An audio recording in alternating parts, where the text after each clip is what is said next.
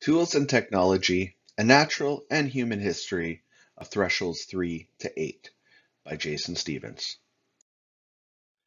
Before we can understand how tools became a huge part of humanity, we must first understand the natural history of our planet and the elements that compose it. Instead of starting at the beginning with the Big Bang, we'll skip 1 billion years to threshold 3, the emergence of heavier elements with the death of our first stars. We know stars are made up of helium and hydrogen, but it's the death of a star, more specifically a high mass star, that is responsible for elements we now find on the periodic table and in our tools. As a high mass star runs out of helium, it begins to fuse carbon into heavier elements, including iron. Iron fills up the center of the star until its eventual collapse, creating a massive explosion known as a supernova. The dust cloud that remains slowly drifts out into space with all the new elements we know today. Now that we understand how these elements are created, how did they form a planet, and more specifically, Earth? Heavier elements spread less far than lighter elements such as helium and hydrogen. These heavy elements will form an orbit around a celestial body and crash together to create even larger celestial bodies through accretion. Our planet went through the same process, starting as a cloud of dust and eventually forming our Earth around 4.5 billion years ago, just after the birth of our sun and our fourth threshold. 90% of our planet is made up of elements that were created with the supernova that formed our galaxy. Over the next 500 million years, our planet cooled, was bombarded by meteorites containing water and other elements we know today. Eventually, from all this chaos, life emerged in its simplest form.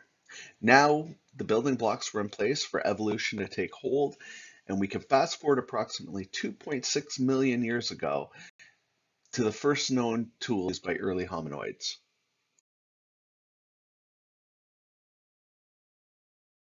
An understanding of natural history is important when looking at the evolution of humans and technology. Technology began with the simplest of stone tools, anywhere from 2.6 to 3.3 million years ago.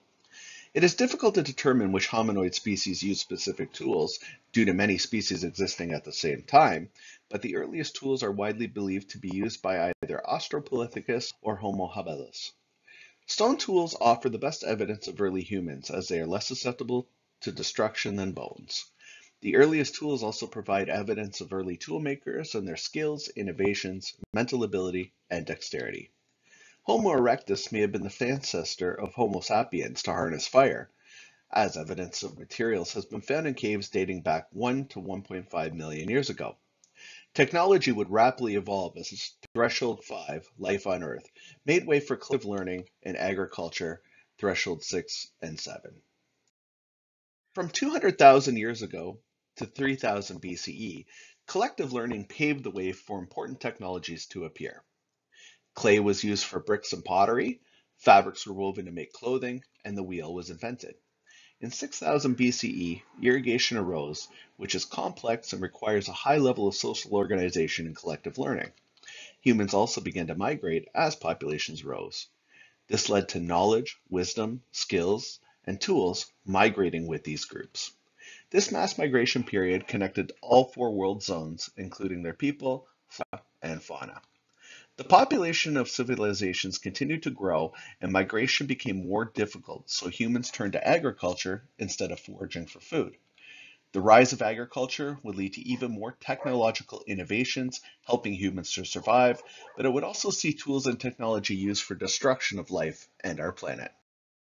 From 400 BCE to approximately 1500 CE, many civilizations grew, rose, conquered, and fell. During this time, there were many conflicts between civilizations as they, as they vied for more land, resources, and wealth. In 1200 BCE, bronze gave way to iron, which is more abundant than copper and tin, the elements that make up bronze. The first sailing ships were used to connect continents and further spread knowledge to new civilizations. Gunpowder was invented in China in 850 CE and spread to Europe in the 13th century. Technological advancements were made in math and astronomy, allowing for exploration to even their locations. Printing was also invented during this period, which aided in the recording and rapid distribution of the information.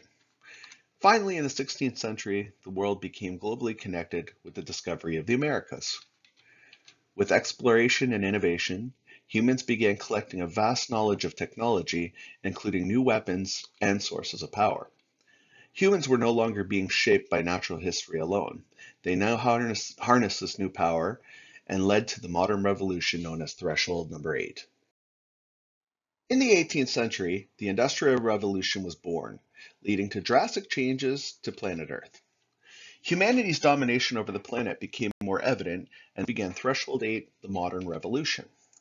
Paul Crutzen, a Nobel winning Dutch chemist, proposed calling this new geological epoch the Anthropocene. Fossil fuels such as coal were the future of innovation, and this power led to electricity. Steam engines allowed ships and trains quicker and easier access to the globe. Coal would be used to heat and power technology. Fuels such as oil and gasoline allowed for further innovation. Internal combustion engines, flight, rocketry, radio, television, and even the computer in its most primitive state were all products of the Industrial Revolution.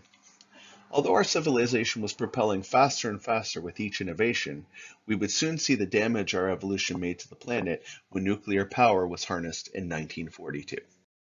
We have seen how natural history shaped human history from thresholds 1 to 7.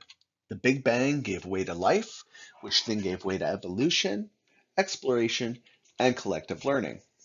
Innovation has driven humanity for millions of years, and advancements in technology has increased immensely in such a short period of time. In 1942, nuclear energy was harnessed and the nuclear age was born. Humanity's impact on the world became evident with the Manhattan Project and the atomic bombing of Hiroshima and Nagasaki in 1945. Over the next 74 years, technology continued to advance and humanity started to understand the effects innovation had on the planet. Climate change, air and water pollution, and nuclear fallout are not naturally occurring, but rather the result of humanity's drive for power and innovation. Technology has afforded us many great inventions, but we are so driven by innovation, we have become blind to the cost.